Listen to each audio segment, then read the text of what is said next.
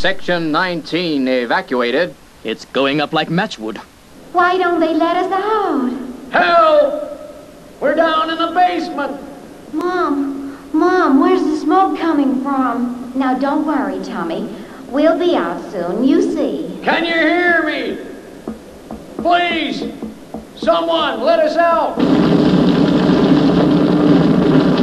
Sections 103 and 113 evacuated. Good. Check the cameras. Let's see if the fire spread. Corridor D50 clear. Say, wait, how did they get in there? We checked all those corridors. They were empty. Maybe. But there are three people in there now. And we've got to get them out. But, but how? It's impossible. No one can get near the sub-basement entrances. We've lost the picture. Which corridor were they in? D50. But we can't reach that. What are we gonna do? I don't know. I just don't know. The air's stifling.